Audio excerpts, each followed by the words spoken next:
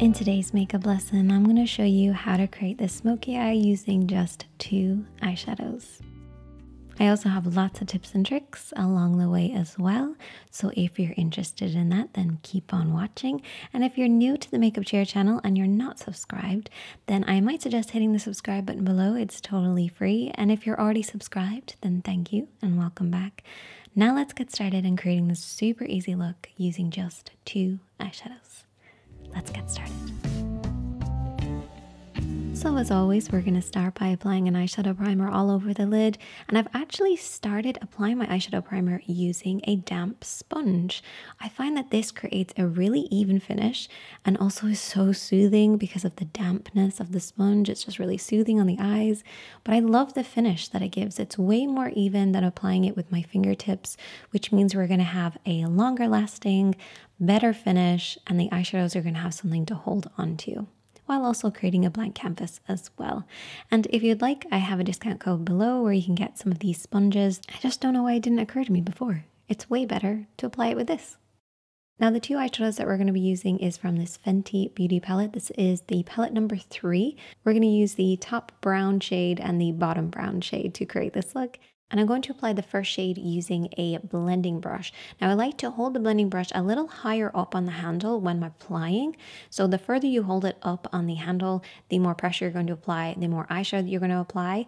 If you hold it in the middle, you're going to blend as you apply. And if you hold it right at the bottom, you're only going to blend. That's just something to bear in mind. So I'm going to take my blending brush and I'm holding it in the center because my lid is still a little damp. So I don't want to apply too much pressure because it's just going to grab hold of certain areas. So it's better to hold it in the center, pick up a little bit of product and then very slowly start to build this up on the lid. So I'm going to start on the lower part of the lid and I'm going to build this up as we go because we want to grab hold of the shadows to keep it on the lid, but we don't want to create little patches on the lid either. So very slowly build this up, apply it nice and low and work your way up covering the lid. Don't worry about the crease just yet, just, just cover the lid. Now, as you can see, I'm holding the brush kind of low down in front of me, and this allows the bristles to kind of go up a little bit higher, so it's covering the lid and also a little bit into the crease as well. Now, if you only want to work on the crease, you're going to bring it up horizontally, so working across the eye instead. And this will only cover this area and prevent your eyeshadows from going up too high, but keeping it nice and deep in that crease. So I use a combination of keeping it low and then keeping it high depending on the areas that I need to cover. Another little tip, and something that I've never actually mentioned, is I always keep my eyebrow kind of raised because if I kind of squint or have my eyes kind of relaxed, I get these little wrinkles. So try keeping your eyebrow nice and high and look down in a mirror, and this will create a smooth line for us to work on. So I always have a mirror kind of placed in front of me, and this just creates this smoothness. It's going to make sure we have a nice even texture and an even look. So that's just something to try. And I've never mentioned it before, but it's something I always do. So once I've covered the entire lid area, I want to then kind of work in the crease area now. And I'm going to do little swirling motions. And this is going to blend in that crease line and keep it nice and deep in there, but give us this kind of soft kind of halo around the lid. So I'm keeping my hand high and doing little swirls. Now I could never do a smoky eye without using a clean blending brush to soften around the edges.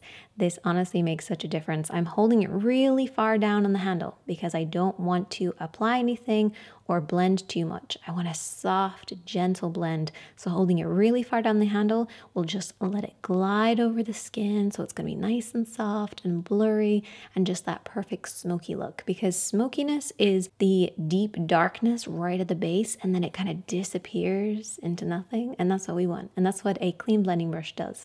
And then you should end up with something that looks like this. Now moving on to our darker shade, I'm going to apply this using a small flat brush. Now you can come from above and kind of tap it across the lash line, or you can bring it down and tap it across the lash line. It's totally up to you and whichever one works for you. I'm also holding it quite high up on the handle to give me lots of control because I don't want this to kind of go everywhere. You know, we don't want fallout. So keep it kind of high, gives you lots of control, and you can really press that dark eyeshadow onto the lash line. Now, as you can see, I'm keeping the brush kind of vertically across my skin. So it's kind of pressing it against my skin right across the lash line. And I keep it a little higher on the outer edge and then I kind of sweep it downwards the closer it gets to the inner corner. But it's all about this pressing motion and keeping it vertically. I'm also going to do little smudging motions with this as well so I can kind of use the brush back and forth in kind of a little wiggle across the lash line and that's going to apply the eyeshadow just a little bit higher and make sure it's nice and smudged. Then I'm going to switch my technique, bring my hand nice and high, and this time we're working across horizontally. So I'm pressing this all along and we're going to get a really nice deep effect as we do this. So I switch between the two using horizontal kind of pressing motions, vertically pressing motions until I get the depth that I want. Now we're not going to be applying any other eyeshadow, but I do want to mention if you wanted to, you could take your blush and apply this into your crease, and this will bring the entire look together. So we're using the same smoky eye, but changing up depending on what we're applying into our crease, onto our cheeks, and onto our lips. And I love, love these by Giorgio Armani. They blend into like the most soft, powdery, creamy, velvety feel. Oh my goodness, they're amazing. Highly recommend but we're not going to apply anything else on the eyes. We're just going to go in with some mascara and some falsies. Now, a lot of people are asking me how I apply my lashes, so I'm going to show you. This is what I like to do. I apply the glue on the upper part, so it's not on the lash band, it's not underneath, it's on the upper part, and I look down in a mirror and I'm going to press them upwards. So the first thing that I like to do is to kind of kiss my lashes, so I kind of go onto the lashes. This kind of disperses the glue and makes sure it's not really close to my eyes either because we don't want to get glue in our eyes.